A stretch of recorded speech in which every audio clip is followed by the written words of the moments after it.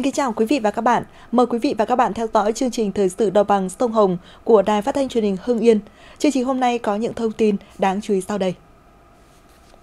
Làng Quất Cảnh xã Thanh Thủy, huyện Thanh Hà, tỉnh Hải Dương chuẩn bị vào vụ Tết. Gia đình bà Cơi, thôn Mai Xá, xã Song Mai, huyện Kim Động, tỉnh Hưng Yên nuôi gà Tây cho thu nhập khá. Cá bống bớp ở huyện Nghĩa Hưng, tỉnh Nam Định cho thu nhập khá. Huyện Kim Sơn, tỉnh Ninh Bình chăm lo Tết cho người nghèo. Sở Công Thương tỉnh Hà Nam kiểm tra dự trữ hàng hóa bình ổn thị trường. Sau đây là nội dung chi tiết. Thưa quý vị và các bạn, Tết kỷ hợi đang đến gần. Những ngày này, những người trồng quất ở xã Thanh Thủy, huyện Thanh Hà, tỉnh Hải Dương đang tất bật bước vào giai đoạn cuối chăm sóc để những cây quất cảnh đẹp phục vụ người tiêu dùng trong dịp Tết. Điều đáng mừng là hầu hết các vườn đều có các thương lái về đặt mua.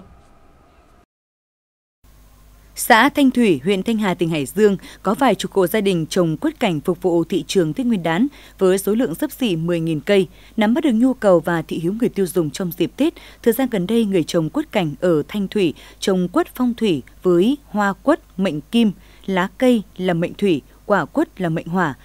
thân là mệnh mộc và quất là mệnh thổ.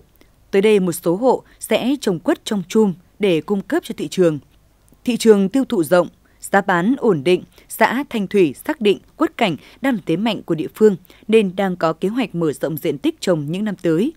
Cùng với tập trung chỉ đạo bà con nông dân chăm sóc phòng trừ sâu bệnh, hàng năm địa phương này còn mở các lớp tập huấn chuyển giao khoa học kỹ thuật để cây quất cảnh mang lại cái Tết đủ đầy hơn cho những người nông dân. Mỗi dịp Tết đến xuân về, không khí sản xuất miến xong của bà con xã Hùng Tiến, huyện Kim Sơn, tỉnh Ninh Bình lại càng nhộn nhịp, náo nhiệt hơn những ngày thường, bởi đây là món ăn quen thuộc đối với người dân Việt Nam. Để có sợi miến ngon, ở mỗi công đoạn, người làm phải cẩn thận và tỉ mỉ. Bột rong giềng được ngâm với nước và lọc qua nhiều lần để chọn lấy phần tinh bột.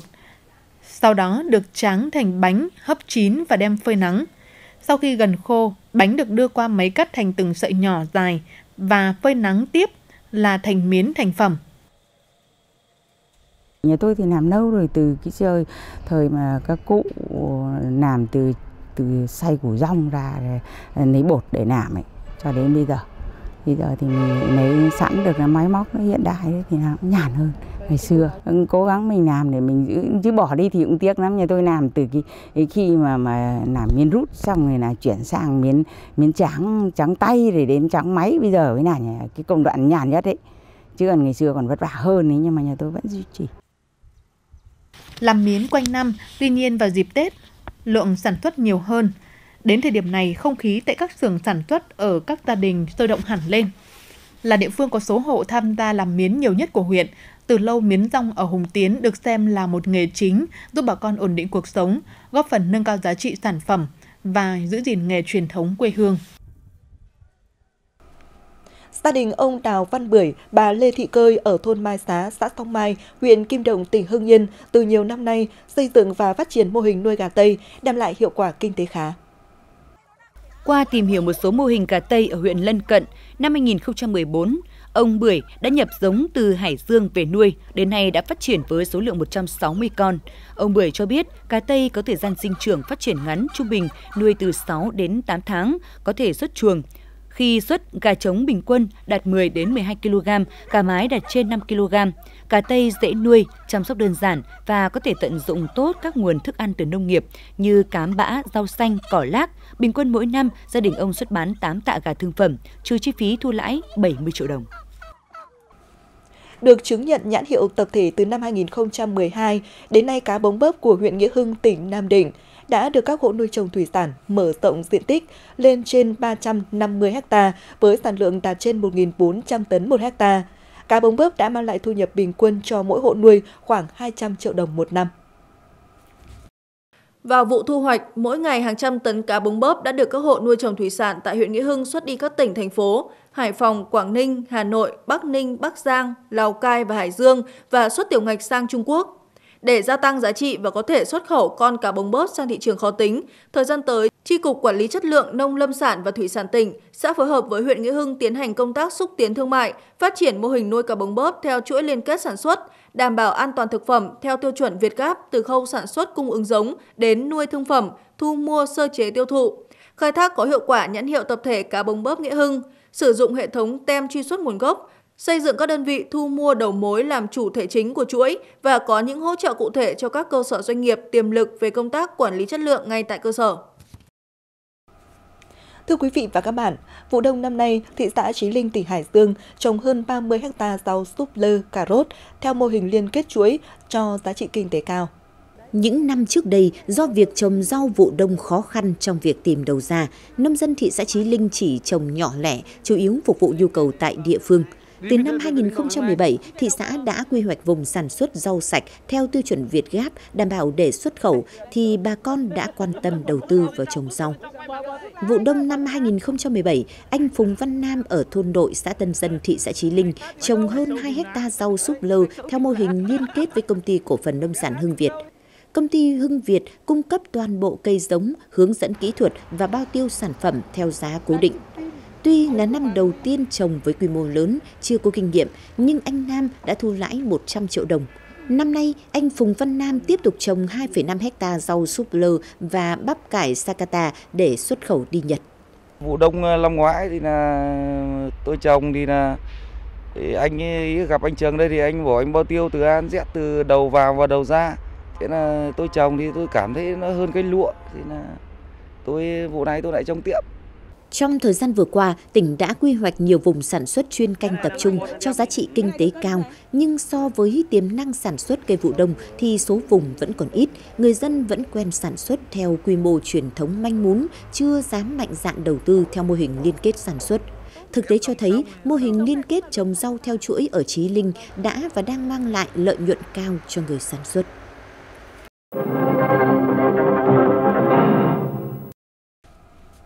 Xin được chuyển sang những thông tin đáng chú ý khác.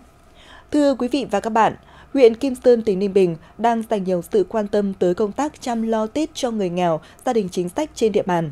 Chủ trương của huyện là phấn đấu để tất cả mọi người, mọi nhà có hoàn cảnh khó khăn đều được tặng quà, vui xuân đón Tết. Các đối tượng nhận quà Tết của huyện bao gồm gần 900 hộ nghèo và gia đình chính sách. Ủy ban Nhân dân huyện Kim Sơn đã chỉ đạo ngành chức năng phối hợp với các xã, thị trấn tổ chức thăm hỏi và chúc Tết, tổ chức cấp phát kịp thời quà Tết và chế độ trợ cấp đến tay các đối tượng. Tại xã Tân Thành hiện còn gần 100 đối tượng là người nghèo, gia đình chính sách. Để bảo đảm cho mọi người đều được đón xuân mới, vui tươi, đầm ấm, xã đã huy động sự đóng góp của các nhà hảo tâm là con em quê hương thành đạt trên mọi miền Tổ quốc, ủng hộ, giúp đỡ.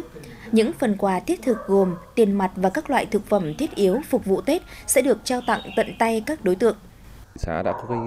chỉ đạo là đối mỗi một đoàn thể là nhận là đỡ đầu cho một ờ, hộ nghèo đến hai hộ nghèo và các hộ có hoàn cảnh khó khăn ở tại các xóm chúng tôi đã có kế hoạch ờ, triển khai từ các ban ngành đoàn thể và nhất là đối với ban thương minh xã hội và ủy ban mặt trận quốc xã Ờ, sẽ có những dành những phần quà của quỹ an sinh xã hội để dành cho các hộ ờ, những gia đình chính sách cũng ờ, như là cũng gia đình có hoàn cảnh khó khăn, nhất là gia đình hộ nghèo, cận nghèo trong dịp Tết kỷ hợi tới đây. Nhà em thì cái cảnh, gia cảnh thì cũng không có, cho nên là cũng nhờ bên chính quyền và bà con nối xóm với các anh chị em trong cái ty thì cũng giúp đỡ, cho nên là bọn em cũng sắm sửa bình thường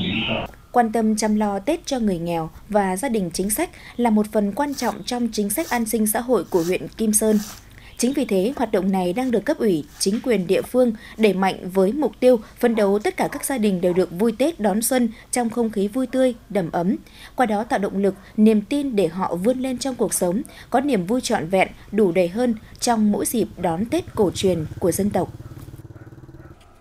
Mới đây tại Trung tâm Văn hóa Kinh Bắc, Liên đoàn Lao động tỉnh Bắc Ninh tổ chức chương trình Tết Xung Vầy 2019 diễn ra trang trọng ấm cúng với sự tham gia của gần 1.000 đoàn viên, công đoàn và công nhân lao động.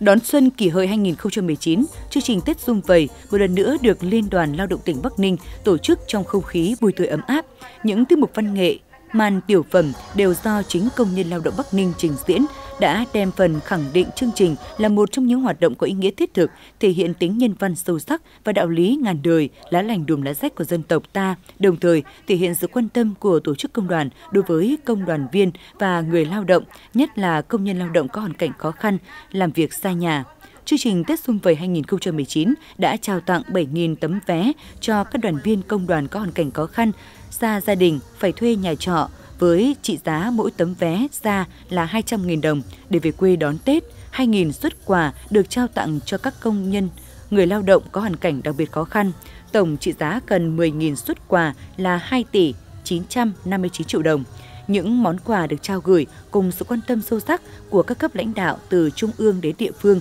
đối với người lao động chính là thông điệp mong muốn lực lượng công nhân, viên chức lao động trong tỉnh tiếp tục phát huy truyền thống cách mạng vẻ vang, vượt qua khó khăn thách thức, chủ động sáng tạo đoàn kết, góp phần thực hiện thắng lợi các mục tiêu nhiệm vụ theo nghị quyết của tỉnh ủy, của Hội đồng Nhân dân tỉnh đề ra trong năm 2019. Sở Công Thương tỉnh Hà Nam tổ chức kiểm tra kế hoạch dự trữ hàng hóa, bình ổn thị trường cuối năm và dịp Tết Nguyên đán kỷ hợi 2019 và kiểm tra công tác duy trì điểm bán hàng Việt của doanh nghiệp đầu mối trên địa bàn tỉnh.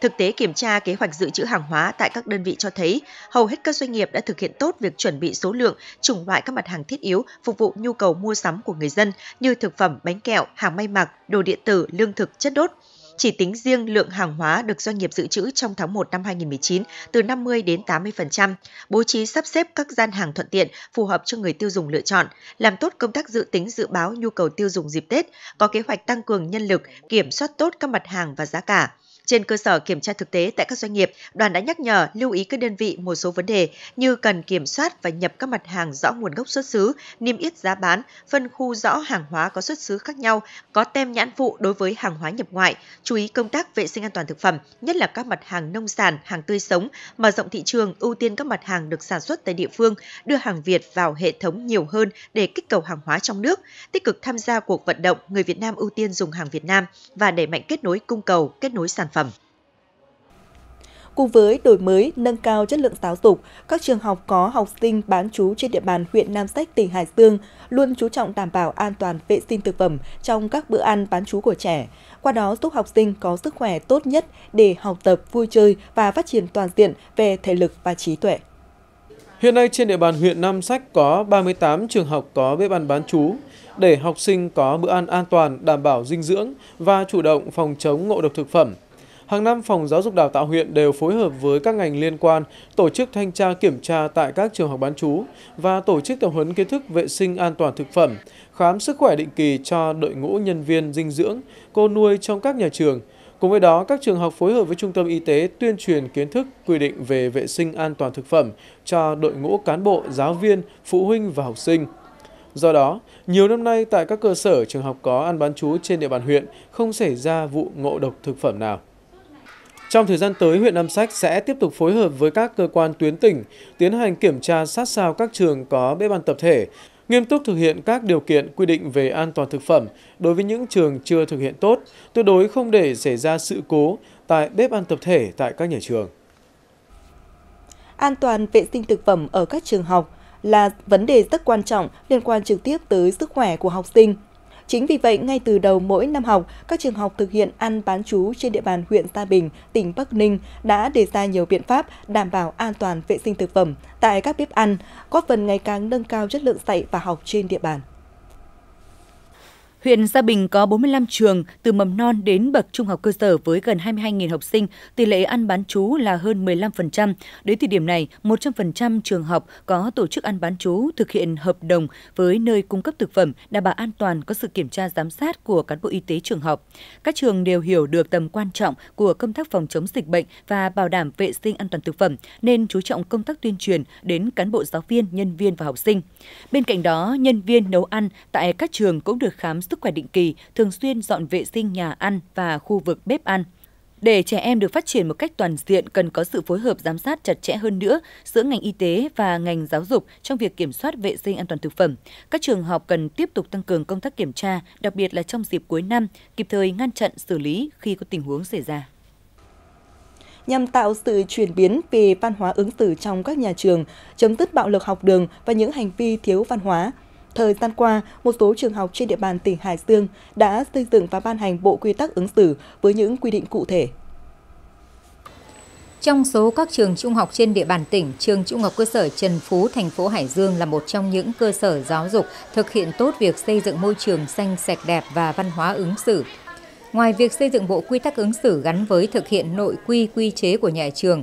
trường Trung học cơ sở Trần Phú còn tổ chức dạy tích hợp văn hóa ứng xử trong các môn giáo dục đạo đức, giáo dục công dân, giáo dục pháp luật cho học sinh. Để phòng chống bạo lực học đường và xây dựng trường học thân thiện học sinh tích cực, nhà trường phối hợp với phụ huynh trong việc giáo dục quản lý học sinh ở trường và ở nhà. Các hoạt động văn hóa văn nghệ thể dục thể thao, thành lập các câu lạc bộ cũng được nhà trường quan tâm tạo sân chơi lành mạnh, thu hút học sinh tránh xa tệ nạn, sống có văn hóa. Xây dựng văn hóa ứng xử trong trường học chính là cách tốt nhất giáo dục lối sống văn hóa, tạo sự chuyển biến trong nhận thức và hành động của cán bộ quản lý, giáo viên và học sinh để xây dựng văn hóa trường học lành mạnh, thân thiện. Là địa phương có nhiều di tích lịch sử văn hóa với kiến trúc cổ kính, những năm qua, chính quyền và nhân dân xã Bình Minh, huyện Nam Trực, tỉnh Nam Định chung tay bảo tồn bản sắc văn hóa quê hương, gìn giữ không gian làng quê, góp phần vào việc xây dựng nông thôn mới bền vững. Trên địa bàn xã Bình Minh, huyện Nam Trực, hiện có gần 30 di tích lịch sử văn hóa gồm các đình, đền, chùa, miếu, phủ được phân bổ rộng khắp tại 17 thôn làng cổ, là nơi thờ những người có công với làng với dân. Là vùng quê thuần nông, các ngành nghề phụ phát triển nhỏ lẻ nên nguồn thu nhập của người dân xã Bình Minh dựa vào cây lúa và các sản phẩm làng nghề. Hương ước của làng nghề luôn có những quy định chặt chẽ về vệ sinh môi trường, giữ gìn an ninh trật tự, duy trì tình làng nghĩa xóm, từ đó, các giá trị thuần phong mỹ tục được phát huy. Các chuẩn mực xã hội được người dân tự giác thực hiện. Đến nay, toàn xã có 14 trên 17 thôn xóm đạt danh hiệu làng văn hóa. Hàng năm, tỷ lệ gia đình văn hóa ở xã đều đạt trên 80%. Không gian làng quê ở Bình Minh được giữ gìn sạch đẹp yên bình. Xây dựng nông thôn mới với mục tiêu cuối cùng là nâng cao đời sống người dân, nhưng không vì thế mà đánh mất đi bản sắc văn hóa của vùng miền việc giữ gìn không gian văn hóa làng quê ở xã Bình Minh đã góp phần bảo tồn bản sắc văn hóa dân tộc, tăng cường tình làng nghĩa xóm, xây dựng môi trường văn hóa lành mạnh. Tại Hà Nội, Bảo tàng Lịch sử Quốc gia Việt Nam vừa tổ chức mở cửa trưng bày bí mật đại dương từ những con tàu cổ với nhiều cổ vật là gốm chu đậu Hải Dương với sự tham gia phối hợp của Bảo tàng tỉnh Hải Dương. Trước khai mạc, Bảo tàng Lịch sử Quốc gia, Bảo tàng tỉnh Hải Dương và Công ty Cổ phần Gốm Chu Đậu đã tổ chức họp báo về sự kiện này với sự tham dự của nhiều phóng viên các cơ quan thông tấn báo chí trong nước. Trưng bày giới thiệu tới công chúng khoảng 500 hiện vật có niên đại từ thế kỷ 13 đến thế kỷ 18, được tuyển chọn trong bộ sưu tập di sản gốm sứ từ các con tàu bị đắm do Bảo tàng Lịch sử Quốc gia lưu giữ, được bố cục theo bốn chủ đề chính, biển Việt Nam và thương mại đường biển – đồ gốm thương mại Việt Nam, con đường tơ lụa trên biển và những con tàu được khai quật từ đáy biển Việt Nam. Điểm nhấn trong bộ sưu tập trưng bày là những báu vật được trục vớt từ con tàu cổ ở Cù Lao Tràm, chủ yếu là các hiện vật gốm chu đậu. Đây là lần đầu tiên những hiện vật này được công bố đầy đủ rộng rãi tới công chúng. Cùng với đó, bộ sưu tập trưng bày còn có các tư liệu bản đồ cổ vật thể hiện sự tham gia của Việt Nam vào thương mại đường biển quốc tế thế kỷ 15-16, trong đó có 92 hiện vật của Bảo tàng tỉnh Hải Dương, trưng bày bí mật đại dương từ những con tàu cổ mở cửa đến ngày 18 tháng 5 năm 2019. Ủy ban nhân dân huyện Nho Quan tỉnh Ninh Bình vừa tổ chức tuần lễ cao điểm ta quân chấn áp tội phạm, đảm bảo an ninh trật tự, an toàn giao thông, phòng chống cháy nổ và các vi phạm về pháo trong dịp Tết Nguyên đán kỷ hợi 2019. Để tăng cường đảm bảo an ninh trật tự trên địa bàn, góp phần phát triển kinh tế xã hội của huyện và phục vụ nhân dân vui xuân đón Tết an toàn, Công an huyện đã huy động tối đa lực lượng mở đợt cao điểm gia quân tấn công chấn áp tội phạm, đảm bảo an ninh trật tự, an toàn giao thông, phòng chống cháy nổ và các vi phạm về pháo, kêu gọi sự vào cuộc tích cực của cả hệ thống chính trị và các tầng lớp nhân dân. Phối hợp với các ban ngành đoàn thể, đẩy mạnh công tác tuyên truyền, phổ biến giáo dục pháp luật, cảnh báo các phương thức thủ đoạn hoạt động của tội phạm để nhân dân biết cảnh giác và chủ động phòng ngừa, đấu tranh tố giác tội phạm, không để xảy ra các vụ cháy nổ nghiêm trọng và đốt pháo cháy phép trên địa bàn. Thời gian qua, thực hiện phong trào toàn dân bảo vệ an ninh Tổ quốc, nhiều tổ tự quản về an ninh trật tự, an toàn giao thông, xã Hải Triều, huyện Tiên Lữ, tỉnh Hưng Yên đã được thành lập và hoạt động hiệu quả, góp phần đảm bảo an ninh trật tự tại địa phương. Đến nay toàn xã Hải Triều đã thành lập và duy trì 53 tổ tự quản với tổng số 167 thành viên tham gia. Các thành viên không chỉ là quần chúng nhân dân mà có sự tham gia của các doanh nghiệp đóng trên địa bàn. Từ đó kịp thời nắm bắt thông tin, phát hiện sự việc để phối hợp cung cấp thông tin cho lực lượng công an xã làm rõ. Qua đó nâng cao ý thức chấp hành nghiêm chủ trương đường lối của nhà nước, bảo đảm an toàn giao thông, nâng cao ý thức bảo vệ tài sản. Hoạt động của các tổ tự quản đã góp phần thực hiện hiệu quả phong trào toàn dân bảo vệ an ninh Tổ quốc, giữ vững an ninh trật tự trên địa bàn. Quý vị và các bạn vừa theo dõi chương trình Thời sự đồng bằng sông Hồng của Đài Phát thanh Truyền hình Hưng Yên. Cảm ơn quý vị và các bạn đã dành thời gian theo dõi. Xin thân ái chào tạm biệt.